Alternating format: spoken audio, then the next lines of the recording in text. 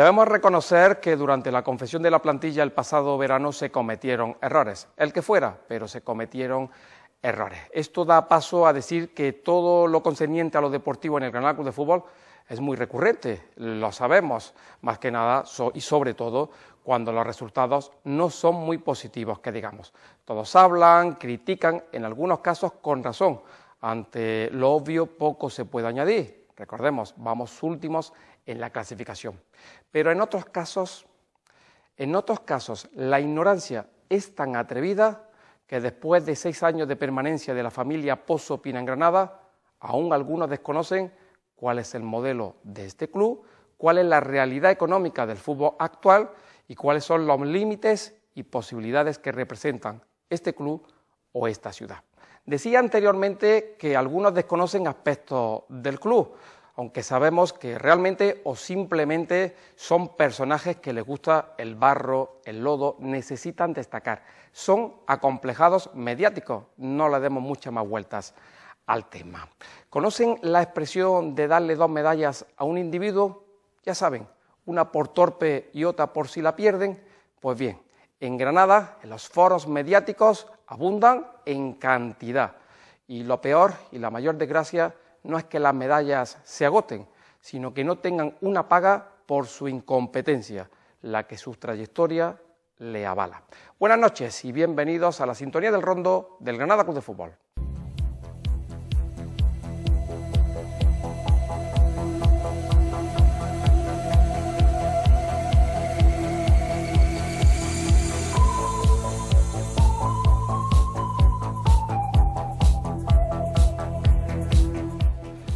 Estamos de vuelta, el rondo Granada, el rondo del Granada Club de Fútbol está de vuelta, estamos a viernes, dirán algunos, pero ¿no es el jueves? Bueno, hoy va a ser en viernes, en próxima semana volveremos al jueves y vamos a hablar de un tema, pues todo hay que decirlo, hay que ser sinceros y, honestos y honrados. Es un tema delicado porque vamos a hablar del tema deportivo y algunos dirán, eh, a esto se, se le ha ido la olla porque está en la televisión oficial del Granada Club de Fútbol y hablar del tema deportivo cuando el Granada de Fútbol va último, pues no sé de qué van a hablar. Pues de todo, de todo lo concerniente al área deportiva, sin ningún temor, sin ningún miedo, porque entre otras cosas creemos en el proyecto, creemos en la gente que maneja el proyecto y creemos en este equipo. La cosa puede ir más, pero todo puede ser mejorable. Y de todo ello vamos a hablar porque ya ha pasado una primera vuelta, hoy se cierra el mercado de fichajes Queda escasamente 58 minutos aproximadamente para que se cierre el mercado de fichajes y el Granada en algo es líder y ha sido en reforzarse durante este mes de enero. Lo importante es que el equipo salve la categoría y por tanto todo lo que hablemos aquí va enfocado a hablar pues con claridad de lo que ha podido ocurrir en los primeros meses de, de campeonato y sobre todo pues hablar pues como se tiene que hablar estas cosas, no con segundas intenciones y sobre todo destruyendo. Aquí lo que vamos a hacer es construir. Y para ello tenemos a gente habitual seguidora del Granada Club de Fútbol, a nivel de medios de comunicación, lo siguen día a día y además tenemos un aficionado que es abonado del Granada Club de Fútbol y directo o indirectamente también vinculado al Granada Club de Fútbol. Saludamos siempre por nuestra derecha al compañero de Deporte Granada, Javier Coloma, ya estuvo aquí hace una semana. Javier, ¿qué tal? Buenas noches. Hola Gerardo, ¿qué tal? Vamos a hablar de un tema delicado. Bueno, vamos a hablar de fútbol, ¿no? Vamos a hablar de fútbol y eso es lo importante. Sí, más que nada porque hasta ahora pues solo veíamos partidos de frontón. Vamos a ver si ahora vemos fútbol, ¿no? No había tomado yo... El fútbol tenis sí, porque al fin y al cabo era, era verde, ¿no? Fútbol tenis, pero efectivamente era mm. frontón lo que veíamos. Continuamos, José María Zafra. ¿Qué tal? Buenas noches. Buenas noches, Gerardo. José María Zafra, abonado del Granada Club de Fútbol, lo repito, Siempre hay gente joven que se incorpora al Granada Club de Fútbol. Gracias por lo de joven. Sí, sí, mayor no eres, José María. Si eres tú mayor, no quiero decir otro cómo sería. Bueno, a lo que nos referimos es que José María Zafra es padre de José María Zafra, el jugador que fue del Granada Club de Fútbol hace algunos años. Pero es un jugador que durante muchas temporadas fue pretendido por el Granada en Segunda División B y no lo podía incorporar. Finalmente lo pudo hacer. Y a mi izquierda, un nuevo invitado, compañero de la cadena SER en Granada, Alberto Flores. Bueno, hemos comenzado hace ya dos años, ¿no? Comenzamos una andadura. Sí, mucho tiempo ya, parece Mucho tiempo ¿no? y no nos tuvo que ir muy mal las cosas cuando lo he invitado a- al programa. Eso quiere decir que todavía, Todavía nos hablamos, ¿no? sí. Nos No hablamos. mucho, pero bueno, sí. No mucho, bueno, nos decimos por las mañanas buenos días, buenas tardes, porque durante algunos meses, estos meses pasados, en la grada de la ciudad deportiva de la Diputación, muy contentos no se nos veía. No, yo creo que ejercía un poco de terapia, ¿no? Íbamos todos y soltábamos y despotricábamos todo lo que teníamos dentro, porque claro, eh, luego llega el momento, me invita aquí o en el programa de, de la SER o él en, en- en su página web, tampoco puede decir exactamente todo lo que piensa y con la crudeza que, que realmente lo piensan, ¿no? Entonces yo creo que, que nos hemos hecho un poco de terapeutas los, los unos a los otros. porque la opinión a veces también hay que medirla. Eh, esto, esta gente que opina como si tuviera la barra del bar y los vemos en medios de comunicación, sea escritos, eh, televisión, en radio o en foros, cualquier noticia que sale publicada, cualquier medio de Granada, Ideal, Deporte Granada, las diferentes páginas web que, que hay en Granada y salen rápidamente la gente hablando barbaridades. Yo es que no sé si es que no se enteran de qué va la película, dónde se informan o si es que, sinceramente, tienen mala leche. Porque no es normal que se diga lo contrario a lo que ocurre o, que se expliquen las cosas y que algunos todavía no se hayan enterado de que este es el Granada Club de Fútbol, que no pertenece a Quique Pina, sino a un grupo de inversor que lo forma, entre otros miembros, la familia Pozo, que es una sociedad anónima deportiva, por tanto tiene un dueño que puede hacer y deshacer a su antojo, y sobre todo que este club estuvo a disposición de todos los granadinos hace años, y nadie lo quiso. De hecho, no compraron ni acciones, con lo cual ahora hablar a toro pasado, en fin, hay que tener mucho morro. Eh, prefiero a aquellos que critican y lo hacen en rojiblanco, porque derecho a criticar hay y deben de hacerlo si queremos crecer, pero por lo menos que se haga con consecuencia y no con mala leche. Saludamos ya a David Sánchez. David, ¿qué tal? Buenas noches. Buenas noches Gerardo, buenas noches a todos nuestros invitados y a todos nuestros espectadores. Teníamos muy claro, después de todo lo que ha sucedido en este último mes, que el primer programa de 2015 eh, debía ir encadenado hacia la actualidad deportiva del equipo. Muchos cambios han sucedido desde que despidiéramos el 2014, el cambio de entrenador, la remodelación de la plantilla, pero antes de centrarnos en ese futuro, en esas cosas que han cambiado con respecto a la primera vuelta, queríamos poner el punto de enfoque en qué ha sucedido para llegar a esta situación y por qué se ha producido. Es obvio que los resultados deportivos pésimos del equipo son los que han acabado con la destitución de Caparrós y con la remodelación de la plantilla, pero han sucedido muchas cosas más y queremos que nuestros invitados analicen también eh, cómo se planificó la temporada y si esta planificación fue la correcta o no. Una vez que se consigue la salvación, en Valladolid, Alcaraz anuncia su despedida y a partir de ahí comienza la primera gran decisión del proyecto de esta temporada 2014-2015, que iba a ser quién iba a comandar, quién iba a dirigir al equipo y eh, aunque sonaron muchos nombres al principio, como Gémez, como Laudrup, siempre se dijo desde el club que la primera opción era Joaquín Caparrós. Y así se confirmó cuando antes de incluso acabar el mes de mayo, se confirmó su contratación por el Granada Club de Fútbol. Eh, con Caparrós llegaba ese entrenador de cartel, de nombre. Llegaba ese entrenador que por primera vez hacía que el punto de mira no estuviese fijado en la confección de la plantilla, sino en quién iba a dirigirlos. Caparrós suponía la estabilidad, la tranquilidad y la continuidad a un proyecto que Pina y Pozzo comenzaron en 2009, nada más lejos de la realidad. Después de la llegada de Caparrós se produjo, eh, se comenzaron a producir la llegada, las incorporaciones de futbolistas, algunas prometedoras como Rochina, como Javi Márquez o como Córdoba, y otras de jugadores prácticamente desconocidos para la afición, como eran el caso de Ortuño, de Yuste o de Sissoko. Se mezclaron esas incorporaciones y al principio funcionó, el experimento funcionó, el Granada hizo una buena pretemporada, comenzó la liga sin perder en las cuatro primeras jornadas, pero a partir de ahí fue un desastre. El equipo encadenó 14 jornadas consecutivas en liga sin ganar y eso acabó costándole el puesto a Joaquín Caparrós. Además, el carácter del luterano hizo que tuviera enfrentamientos no solo con gente de la plantilla, sino con el club, la afición e incluso con la prensa.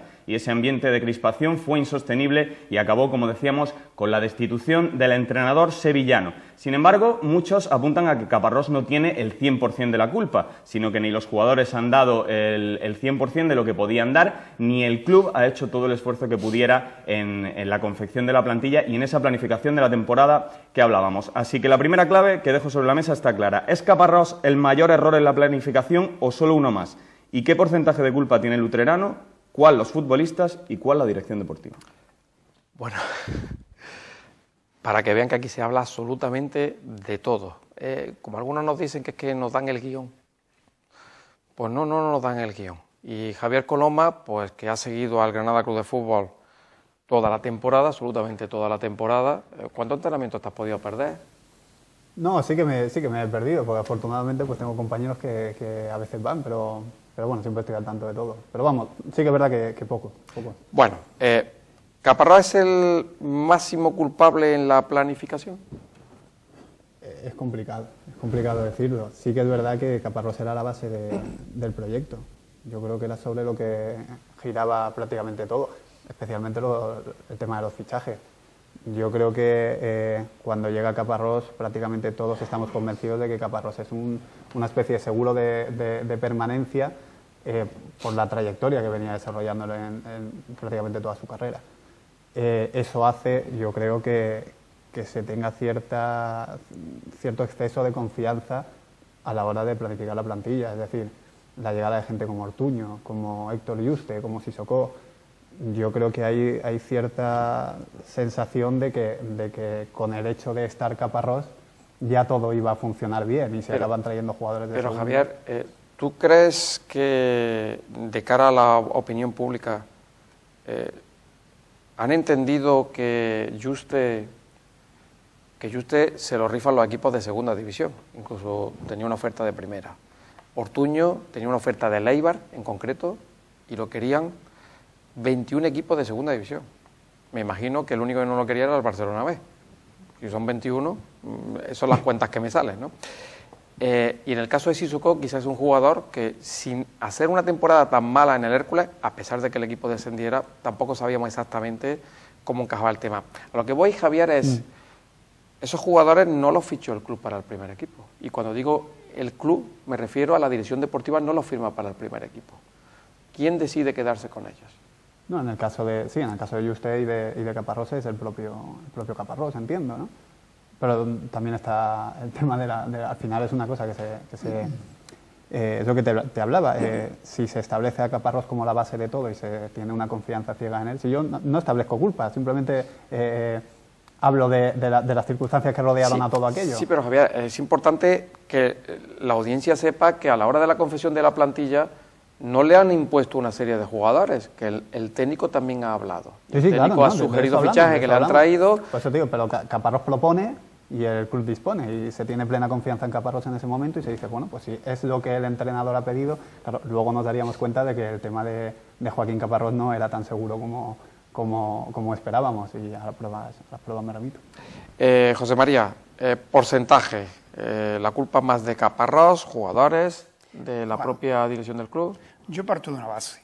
Es decir, que tú, mm, el perfil que buscaba el, el club para, para el equipo este año, eh, dentro de buscaban un entrenador que apostara por gente que está mm, denotando algún sobresale de alguna manera, ¿no? Para por lo que es el club, ¿no? El club es un, un espacio de trampolín, un negocio en el que un jugador juega tres partidos, mete cinco goles y al año que viene vamos a venderlo y hacer caja. Entonces Caparrós, digamos, por toda su trayectoria que ha tenido como entrenador, ha apostado por la gente joven y ha apostado por gente que le ha respondido, pero no han tenido en cuenta que Caparrós venía un poco ya de, de vuelta, digamos, en, la- en el declive un poco de, de- de- de su carrera, ¿no? Porque había tenido dificultades en Mallorca, había tenido dificultades, creo que fue En el Levante. en el Levante, y, y, en fin, no era el, el entrenador ese brillante con ganas y con auge que viene a un equipo de alguna forma que tiene algunas coincidencias con él en apostar por la gente joven. Ahora bien, partiendo de esa base, Caparrós no se va a olvidar entrenar. No se le, ahora, hay que tener en cuenta una cosa. Yo digo que como todo en la vida, si tú das buenas mimbres, el equipo funciona. Porque aquí quisiera yo ver a Luis Enrique o a, o a este, o al Pep Guardiola, todo eso lo quisiera yo ver con la plantilla que tiene Granada, a ver si es que los conocimientos... Ahora sí, también tengo que com- comentar lo siguiente, ¿no? Yo creo que el, fallo aquí, estamos hablando mucho, pero yo creo que la dirección deportiva de Granada tiene mucha culpa, ¿eh? Tiene mucha culpa en la, en la elaboración del equipo. En la elaboración del equipo y la, a la prueba me remito, tú acabas en la introducción de decirlo. Y el Granada es el equipo que más ficha ¿Eso qué quiere decir? Que no se ha hecho bien. No se ha hecho bien y se han tenido que incorporar otros jugadores porque se nos va el. Bueno, no siempre es así. ¿Cómo que no siempre es así? El Madrid ha incorporado jugadores y... El Madrid ha incorporado jugadores que uno es campeón en, Sudamérica reconocido y otro que se los rifaban todos los equipos de Europa. Pero eh, en el mercado de fichajes de invierno, hay que decirlo también, se firman por carencias, no se ha planificado bien al principio, por carencias, no se planifica bien al principio, sencillamente porque se ha visto que se puede sacar más partido a determinadas cuestiones cuando ves los jugadores, eso no es un error, es ver cómo está el equipo tal y cual y lo puedes pulir. Eh, o a lo mejor hay un jugador que has visto que siendo un jugador importante, Rochina, por ejemplo, eh, pues a lo mejor necesita un jugador que pueda sustituir a Rochina cuando ves que está lesionado. Y en otras cuestiones, porque están mirando el futuro. Son las tres posibilidades que hay. Gerardo, un equipo que está el último, que está el último, que duda cabe que yo creo que le he hecho dos culpas a la directiva. La primera es la, en la formalización de jugadores que ha firmado y la segunda en aguantar tanto al técnico, porque creyendo que el equipo ha entrado en una dinámica que desgraciadamente le cuesta mucho romper con, esa dinámica que es de perder, perder, perder. Y cuando va por delante del marcador no sabe manejar el equipo los partidos. Y los futbolistas no todos son malos, ni todos son, no están preparados para jugar en primera división, no. Digamos que hay un porcentaje bastante importante que sí está, puede estar jugando en primera división. Y otro por el que se ha apostado y no ha dado el resultado apetecido. Con lo cual, la culpa de Caparrós y de la dirección deportiva, pues yo te diría que un 50-50. Bueno, yo le voy a hacer la pregunta a Alberto Flores, porque quizás José María también se deja llevar eh, por, por, un club, eh, pues como hemos conocido toda la vida, los clubes de fútbol. La, la presidencia de la dirección deportiva ficha, tal y cual. Alberto, este club es atípico. Aquí hay un modelo de club implantado que no tiene que ver nada con lo que ocurre en otros clubes y la dirección deportiva se tiene que someter, y la palabra es esa, porque esto es un modelo de club que se impone desde arriba y el director deportivo tiene que atenerse a ese modelo. Sí, y en base a eso se ficha. Y sobre todo, yo lo que no, termino de estar de acuerdo, le doy más porcentaje de culpa a Caparrós. ¿no? Evidentemente, en el momento en el que el equipo está último, todos tienen culpa. Eh, desde el director deportivo hasta el último mono que pueda estar en el Granada Cruz de Fútbol. Es una situación en la que todo el equipo tiene culpa. Evidentemente, los jugadores, pues probablemente en la última jornada, ¿no? y por informaciones que te llegan, cosas que sabes, al final con la profesión de enteras de muchas cosas, pues eh, yo no tengo miedo en decir que probablemente no, han no hayan dado el máximo, ¿no? ya no estuvieran a gusto con Caparrós y podemos hablar de muchas historias, ¿no? Pero centrándonos en la pregunta que haces, ¿no? Eh, ¿Qué porcentaje de culpa tiene? Probablemente el Granada eh, se ha equivocado. Eh, evidentemente se ha equivocado con la contratación de Caparrós, pero también estamos hablando desde que el equipo subió a Primera División, sea Joaquín Caparrós el entrenador que más decisiones ha tomado a la hora de la elaboración de una plantilla. Eh, no ha tenido esa oportunidad Anquela, no ha tenido esa oportunidad Lucas Alcaraz. Hablaba antes Gerardo de jugadores como Juste, de Sissoko, que muchos de ellos son peticiones presas de decir él, no, quiero contar con ellos, quiero que se queden. Eh, yo lo que creo que todos tendríamos que hacer un, ejercicio de, realidad, y me explico. Eh, que ahora el equipo necesita evidentemente reforzarse, sí, eh, pues si hasta ahora no sabremos si, llega a una última hora o no, pero si hasta ahora hay seis eh, incorporaciones, evidente que, que, algo no estaba saliendo bien y tenías que reforzarte, pero si a casi todo el mundo le preguntaba en verano qué te parece la plantilla del Granada Club de Fútbol, yo creo que todos opinamos que era mejor de lo que opinamos ahora. Eh, ¿Qué pasa? Que ahora el equipo estando último, con una situación en la que la tristeza impera, ¿no? Es un equipo que mentalmente está tocado, es muy fácil decir que, que la plantilla del Granada Club de Fútbol malas sin intentar analizar un paso más, ¿no? Eh, lesiones que se han producido, lo que pueda o no. Para mí el principal fallo ha sido el querer imponer un entrenador que probablemente la mentalidad de fútbol sea completamente opuesta a la que la plantilla existía. Yo creo que el fallo estaba ahí y por lo demás mm, a mí, para mí, Caparrós me ha parecido una mentira, sinceramente, como entrenador. Un entrenador que llevaba un bagaje tal a su espalda, que ha conseguido grandes cosas. Eh, tú dices, lo decían antes los compañeros, Caparrós, y te viene a la mente, no, es que ha hecho debutar a Jesús Nava, no es que ha hecho debutar a... De los jugadores que ha hecho debutar en el Granada, no llevo la cuenta porque han sido bastantes, el único que realmente ha mantenido ha sido Saccés. Es decir, eh, ¿por qué haces debutar a Dimitrievski, por ejemplo, en la primera jornada? Yo ya llego a pensar, digo, ¿estás rellenando estadísticas o realmente estás mirando por el Granada? Eh, entonces, Eh, eh, bueno, yo, yo- yo tengo mi opinión particular. eh, Roberto, Sí, sí, pero estaba Oyer, que es el que finalmente le das el puesto. ¿Por qué no optas por Oyer? Eh, yo lo que me ha demostrado Caparrós, y ya concluyo con esto en la, eh, en, en la primera pregunta que habéis hecho, imagino que tendremos muchas más que repasar, así que tampoco es cuestión de, de extenderse demasiado. Lo que yo creo que pasa con Caparrós es que ha, ha demostrado ser un, un entrenador con poca capacidad autocrítica y sobre todo de corregir. El Granada fallaba y tú lo has definido antes, era esto un frontón, te estrellabas una y otra vez contra el frontón y Caparrós no era capaz de cambiar nada. Y si el capitán del barco quiere irse una y otra vez hacia el iceberg, pues al final te hunde. También estoy de acuerdo, creo que la decisión de sustituir a Caparrós llega tarde. Eh, no creo que sea una situación irreversible la del Granada, pero creo que le hubiera venido bien afrontarla con un par de, de semanas de antelación.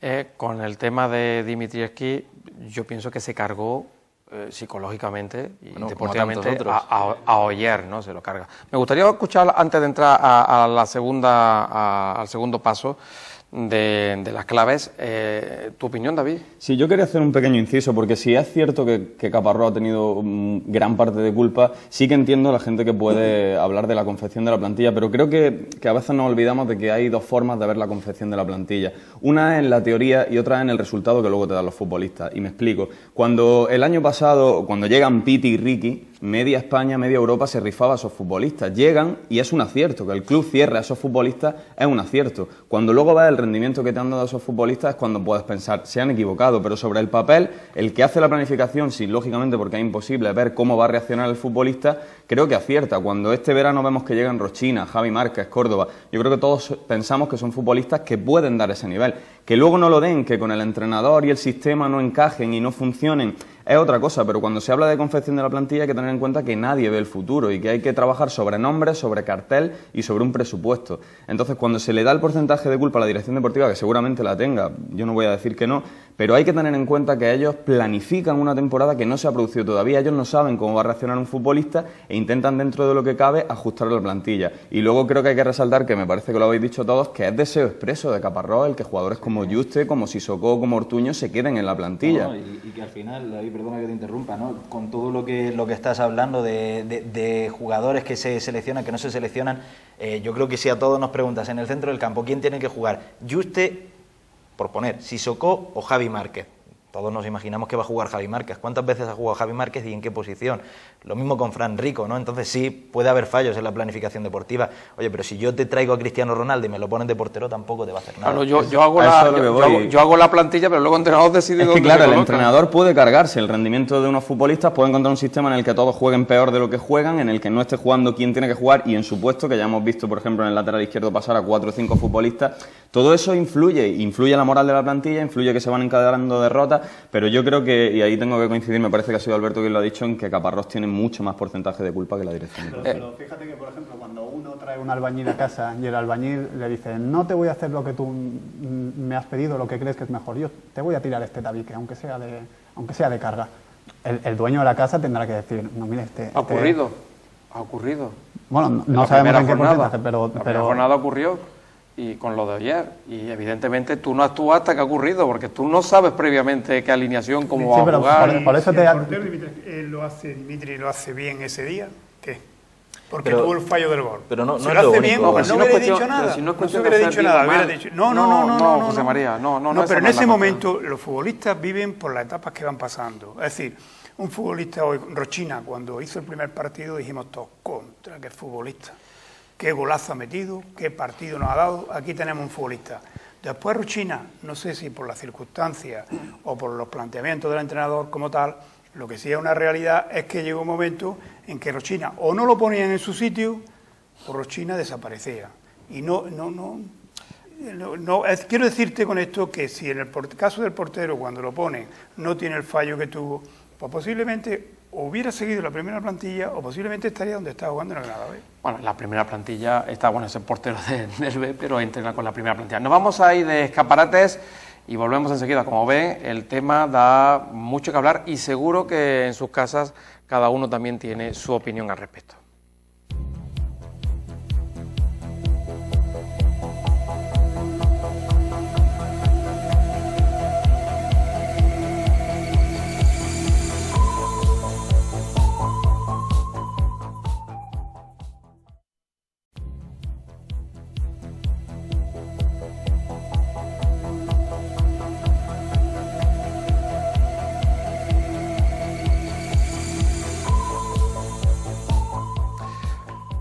Es de esos días en el que el Rondo Granada, el Rondo de Granada de Fútbol, el debate no es solo en antena, el debate también es fuera de, de antena.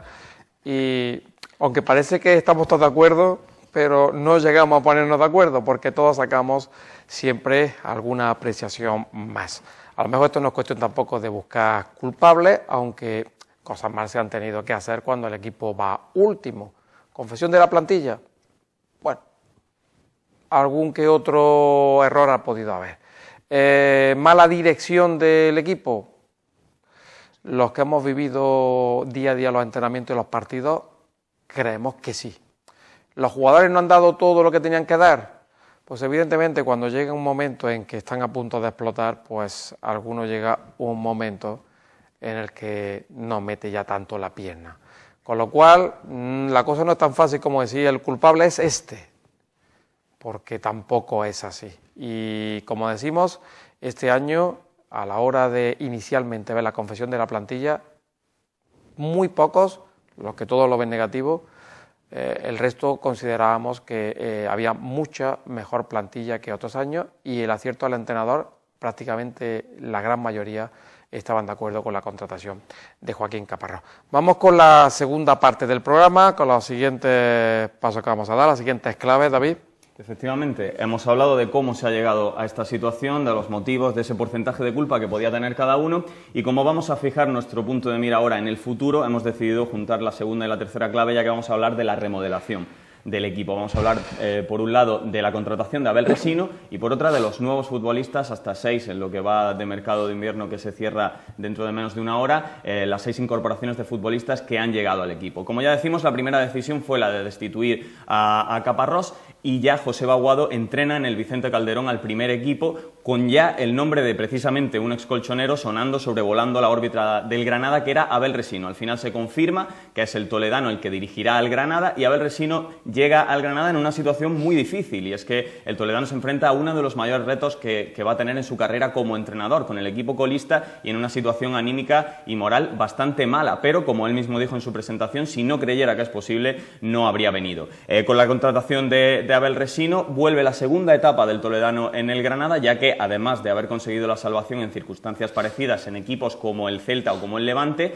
en la temporada 2011-2012 y tras la destitución de Fabri, Abel Resino llega al Granada y tiene, igual que esta vez, 19 jornadas para salvar al equipo con siete victorias y dos empates para un total de 23 puntos de oro y a pesar de haber perdido los tres últimos partidos de ese campeonato, Abel Resino consigue salvar milagrosamente al Granada en el Estadio de Vallecas contra el Rayo Vallecano. Bien es cierto que aunque hay similitudes con esa anterior etapa de Resino en el Granada, esta vez la situación es más crítica, no solo la situación clasificatoria, sino la situación de la plantilla. Él mismo ha hablado de una plantilla bloqueada, por lo que su primer objetivo tiene que ser comenzar de cero y cambiar el chip de los futbolistas, de unos futbolistas que después de esos 16 partidos ya sin conocer la, victoria están anímicamente hundidos. Y para ello, en sus dos primeras semanas como entrenador, ha decidido hacer dos concentraciones en Marbella para ir conociendo a los futbolistas, que los futbolistas lo conozcan a él y que ese proceso de interiorización, de asimilación de, de los conceptos tácticos que tiene Abel Resino sea más rápido y el equipo se adapte mejor a él. Y una vez que se produce la llegada de Abel Resino, comienzan también a producirse las incorporaciones de jugadores. El primero fue el Las, que la verdad es que en su debut cooperó con el gol eh, contra el Sevilla, ilusionó bastante, también por momentos contra la Real Sociedad, pero que luego quizá ha dejado algo que desear contra el Atlético y contra el Deportivo. Y precisamente en el Calderón contra el Atlético volvió a ilusionar un nuevo futbolista que es Robert Ibáñez, que también confirmó con su gol en Riazor que puede ser un hombre importante para esta segunda vuelta. Esas fueron las dos primeras llegadas. Eh, la tercera llegada es la de Emanuel Insúa, el lateral izquierdo procedente de Boca Juniors, el lateral argentino, y después ya comienzan las llegadas de Rubén Pérez, procedente del, Atlético, procedente del Torino, pero cuyo pase pertenece al Atlético de Madrid, también la de Juan Cala, el ex sevillista eh, que vuelve de su aventura en el Cardiff, y, y por último la de Daniel Candellas, que procede del Benfica, o el Benfica tiene su pase, aunque ha estado en el Nuremberg alemán jugando 16 partidos para un total de dos goles. Es cierto que en el plano de salidas no se ha movido igual y por ahora, y a falta de que se confirmen hoy eh, del todo las salidas, eh, solo se ha producido la rescisión del contrato de Dani Nunque y también la salida de Alfredo Ortuño a Las Palmas, aunque posiblemente, y esto se confirmará cuando se cierre el mercado, también podrían salir eh, Juste y Sissoko, así como también Larson. Así que con todo el repaso hecho del cambio de entrenador, de la remodelación de la plantilla, las preguntas son simples. ¿Ha acertado la dirección deportiva tanto en el entrenador como en los fichajes y si dentro de lo que cabe y dentro de las posibilidades económicas del Granada se podía haber hecho un esfuerzo mayor o el esfuerzo ya se hizo a, primera, a principio de temporada y ahora con la, con la limitación presupuestaria del LFP pues no se puede hacer mucho más. Por cierto, David, eh, habla muy bien el portugués, porque yo para decir candellas me, me cuesta muchísimo trabajo, pero habrá que adaptarse. Javier, ¿se ha acertado con el fichaje de, del entrenador?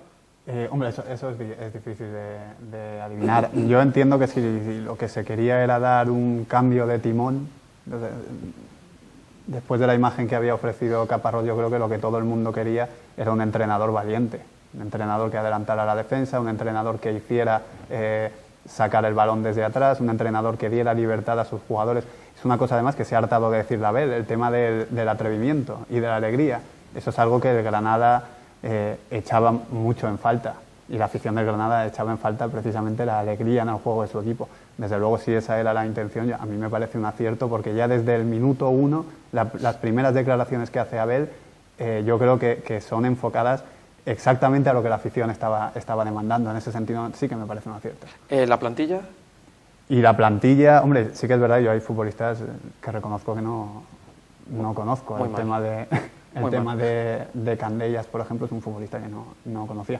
A mí el, debut de Las me gustó mucho. Reconozco, yo a Candellas tampoco lo conocía. El resto de jugadores, incluso algunos que, que se han rumoreado, pues sí, pero el caso de Candellas, a pesar de que jugó en España, de todos los que han llegado, no conocía. Pues Raúl Ibáñez sí, sí lo conocía, Rubén Pérez también, que esto es otra, Javier.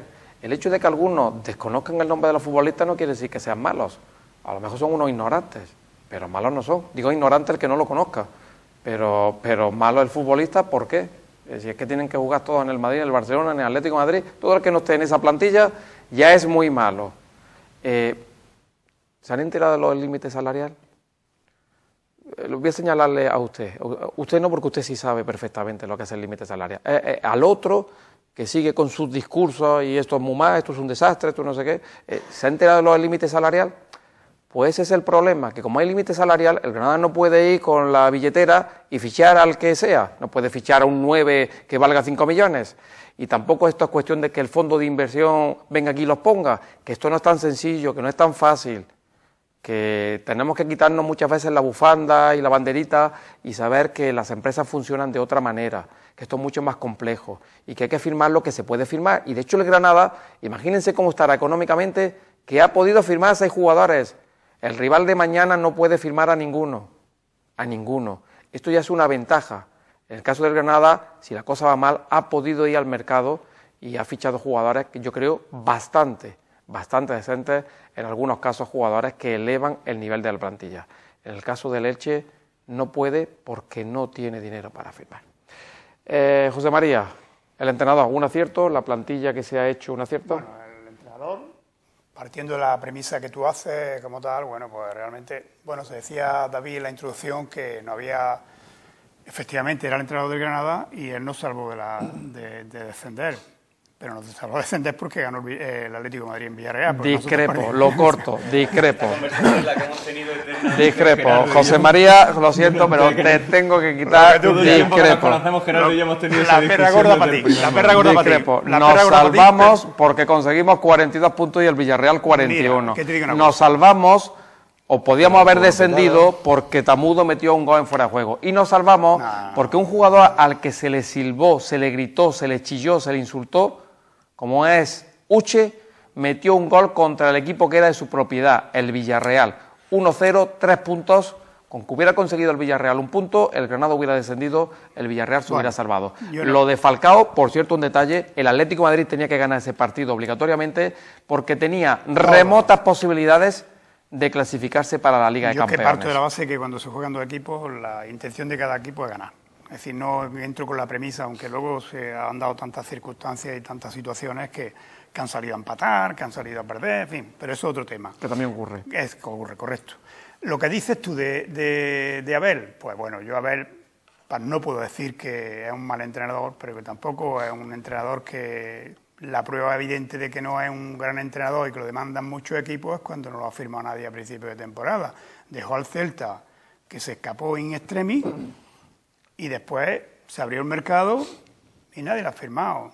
Es decir, la ha firmado el Granada porque no fue, mm, entre comillas, no fue un poquito bien salvando la, forma de entender lo que tú lo tienes como yo. Pues bueno, el equipo efectivamente jugó de distintas formas a como venía haciéndolo con Caparrós y digamos le dio cierta libertad a los jugadores y echó la línea un poquito para adelante. Pero no olvides una cosa, perdona, termino. En Coruña, no olvides que ese va a ser el gran problema que tiene Granada. A no ser que los futbolistas que se han firmado, de alguna manera, hay un espacio muy grande entre lo que es la defensa y medio campo. Pero eso ya es trabajo. de, hecho, yo vi las líneas mucho más juntas cuando el soy, el espacio Soy muy puntilloso y le digo a José María, ¿tú consideras que Quique Sánchez Flores es un buen entrenador? Bueno, digamos que es un entrenador más. No ha demostrado nada más que es un entrenador más. Con el Valencia, como te vuelvo a decir... No, pero simplemente dime, ¿tú crees que es un buen entrenador, sí o no? No, yo te digo a ti una cosa. Eh, es como si te dijera, tú estás presentando qué sé yo, Telemadrid o. No, Dios, me libre, entonces, Dios me libre. Entonces te digo yo, ¿eres tú un buen presentador o no lo eres? Quiero decirte con esto que los entrenadores son buenos si las plantillas son los no, A lo que voy es que Quique Sánchez Flores ha estado mucho tiempo en paro.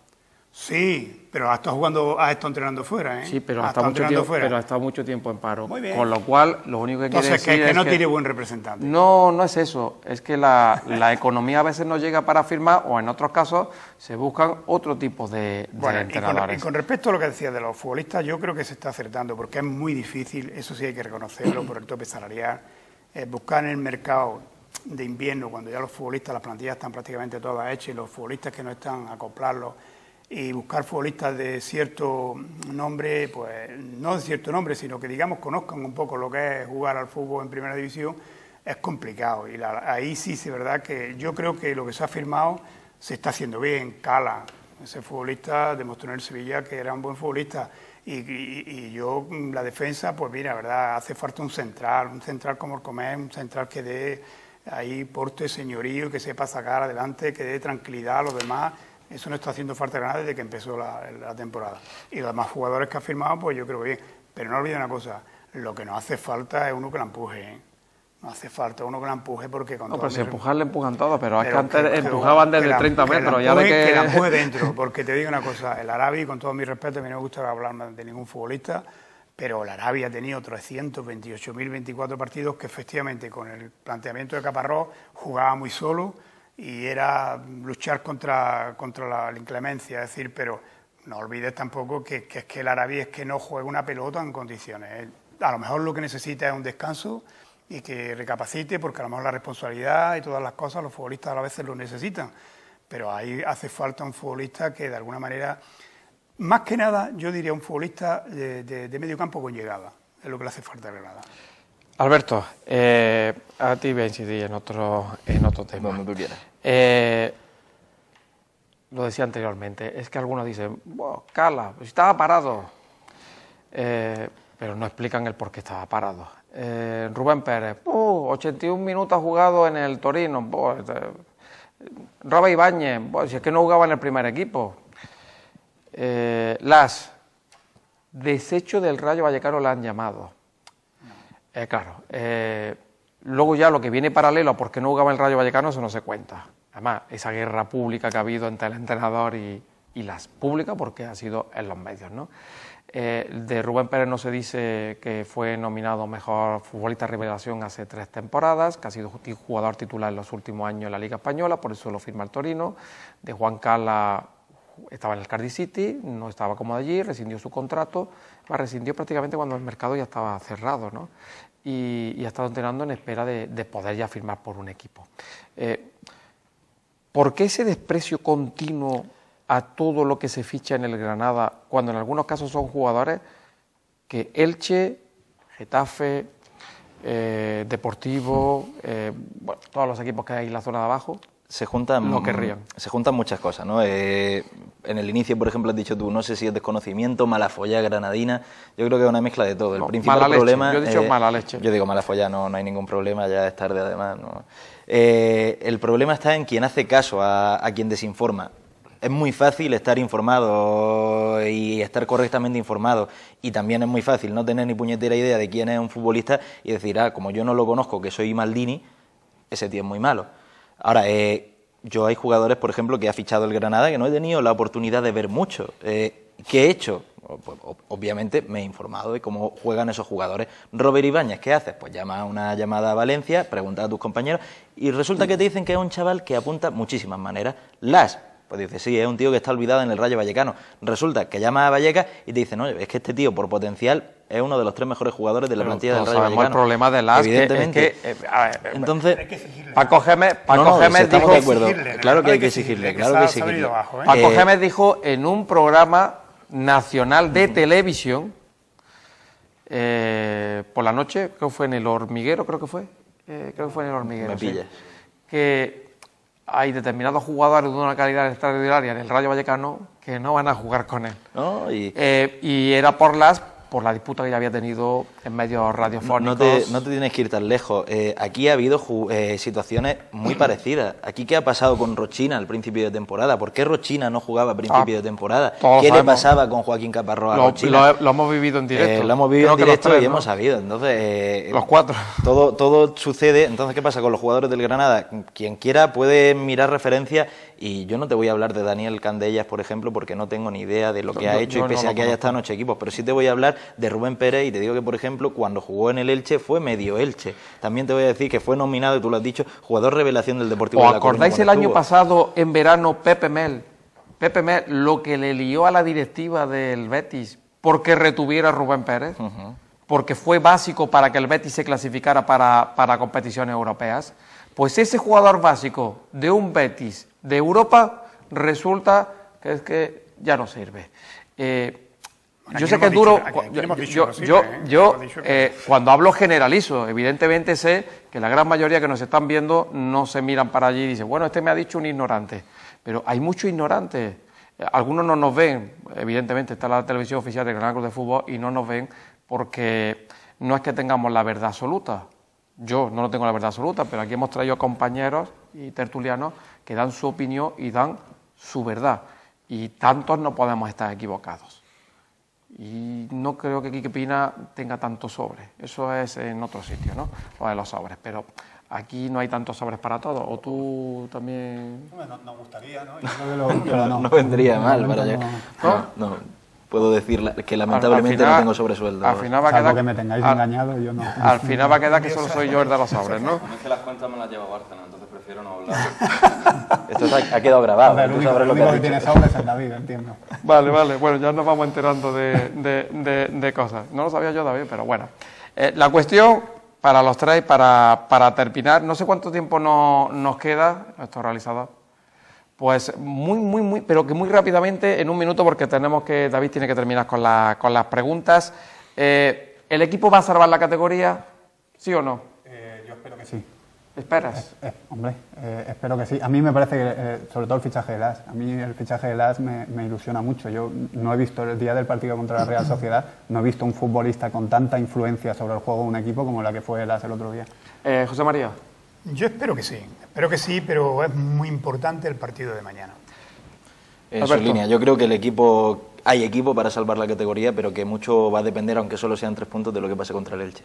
El pesimista de Gerardo, como me dicen, eh, no digo que espero. Eh, el Granada se va a salvar y para mí lo más importante, 16 jornadas sin ganar y a dos puntos de la salvación. Con un poquito que la cosa vaya bien, imaginaros. David, vamos con la tortura a nuestros invitados. Pues sí, como siempre vamos a terminar con esa ronda de preguntas que le hacemos a nuestros invitados, a ver si han estado atentos y como hoy el tema es de la actualidad deportiva, seguro que salen bien parados y si no es que algo han hecho mal porque es su trabajo. La primera va para Javier Coloma. ¿Dónde y contra quién se produjo la primera derrota del Granada de Caparrós en competición ofi- oficial que inició una racha que aún no se ha cortado en liga? ¿Dónde fue? Eh, ¿Y contra quién? pues sería en casa contra el Levante, ¿no? Correcto, en el nuevo Los Cármenes, Granada 0, Levante 1, gol de Rubén García. Ahí vio... Iba a decir una maldad, y es que son 16 jornadas, lo mismo se olvida uno de cuando comenzó. No, no, he, tenido que, que hacer memoria, no, no que- Vamos, vamos con José María Zafra. Sí. La segunda es para José María Zafra. ¿Cuáles de los fichajes del mercado de invierno del Granada han debutado ya? Bueno, yo creo que empezó Las. Después me parece que en Coruña ha debutado Insúa y, Te queda uno. y Robert Ibáñez. Correcto. Tres, de los seis que han llegado. Esto tiene hoy truco. eh, yo creo que ya vienen asustados nada, ¿eh? y han estado empollándose. Eh, Alberto, que es el nuevo en el día de hoy, esperemos que sea el que caiga. Por cierto, Alberto, no sé si lo sabes, aquí el que acierta las preguntas vuelve al rondo. Ah, entonces puedo fallar a Yo propósito. quería decir que Repite en el rondo. Vamos allá. a El ver que, qué- el que falla repite en el rondo. Vale. Es la más difícil, pero también es verdad que es una que no se tendría que saber y le, le habría valido con atender si ha atendido en mi segunda clave. O sea que, ¿cuántos? ya, ya, por eso digo que es la más difícil. ¿Cuántos puntos, lo he dicho yo, cuántos puntos obtuvo Resino en las 19 jornadas que dirigió al Granada en 2012 para conseguir la salvación del equipo? Lo hemos repetido Sí, sí, sí. hasta la saciedad. Y con esos puntos, el Granada yo no creo los que- totales del equipo, sino Ya, los que no consiguió lo Abel. totales, eh, me pilla y voy a decirte una cifra y voy a quedar mal, así que prefiero que la digas tú. No, No, no, no, dilo, di dilo, dilo. una. Mm, 18.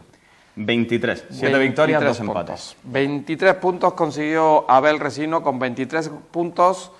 El Granada Acabaría se salvaría. 37. Eh, yo he hecho un, un estudio estadístico de las últimas ocho temporadas y la media de los equipos que salvarían la categoría sería sumando 23 puntos en las segundas vueltas. Pues con esos 23 puntos serían 40 los que haría necesario. Ya ha pasado una jornada y ya ha bajado el- la puntuación a 39 puntos. Con lo cual, si este va a ser el ritmo, el Granada seguro que termina llegando. Bueno, hasta aquí ha llegado el programa en el día de hoy. La semana que viene, si no hay mucha modificación, queremos hablar de la Liga de Fútbol Profesional, del tema de la violencia, cómo va ese tema, los derechos de televisión, si se va a firmar o no se va a firmar fina- a finalmente el acuerdo eh, con todos los equipos. Todo ello lo queremos hablar, si es posible, la semana que viene con el gerente del Granada Club de Fútbol, con David Navarro. A nuestros invitados, Javier, muchas gracias por venir. Yo sé que esto da para mucho más. Yo sabéis Tenemos que el tiempo reducido. con, con ganas de más. Sí, eh, eso es lo bueno, eso es lo positivo, quedarnos con ganas de más. José María, Nada, como no te enfades porque No, tú sabes que yo no me enfado. No me enfado. José María es de los que algo de fútbol ha visto en, en su trayectoria, nada que por, por seguir a su, a su hijo, y siempre lo digo, es un caso inusual en un padre, inusual, porque nunca se ha metido en la trayectoria de su hijo, por eso su hijo llegó donde llegó, eso es lo importante. Alberto, eh, que repites Habrá en el que rondo. volver, sí. Fallado la pregunta, Tú sabes que he insistido mucho en, en que vinieras. Ya, entre unas cosas y otras, bueno, ya está bien aquí, que es lo que cuenta, ¿no? Volverá, por supuesto. David, la semana que viene nos volvemos a ver. Hasta la semana Y a todos ustedes, pues muchas gracias por ver el Rondo Granada, el Rondo del Granada Club de Fútbol. Y no se olviden que aquí hablamos absolutamente de todo. Hoy se han dicho cosillas, a lo mejor que, que no puede gustar mucho como rojo y blanco, pero lo hacemos de forma constructiva. Y estamos seguros de que a final de temporada vamos a seguir en primera división. No tengan duda. Hasta la semana que viene.